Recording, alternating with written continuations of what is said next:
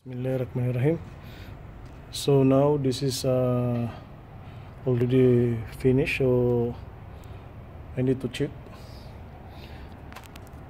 So this is for the star delta for uh, 200 no 110 kilowatt, and this is for uh, conveyor, and this is for uh, feeder, which is uh, 22 kilowatt, and this is uh, 7 uh, 11 kil- 11 uh, kilowatt. So this is the MCCB, the timer the main breaker. So now we will start. This is the voltmeter the frequency and the current. So this is the emergency switch. So there is a tag this is the impact the conveyor and the feeder so now we will start first the impact.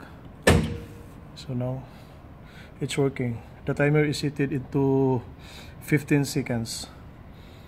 So we will wait until 15 seconds okay now it's working. So now working for the conveyor and then this is the last one is for the feeder so the feeder at the side we will uh, connections another uh, control which is the remote control. So now we will stop this one.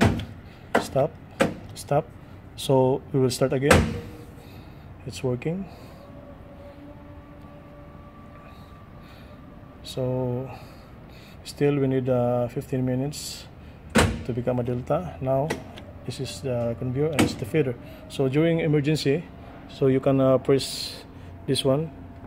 So all is automatic switch off. Okay thank you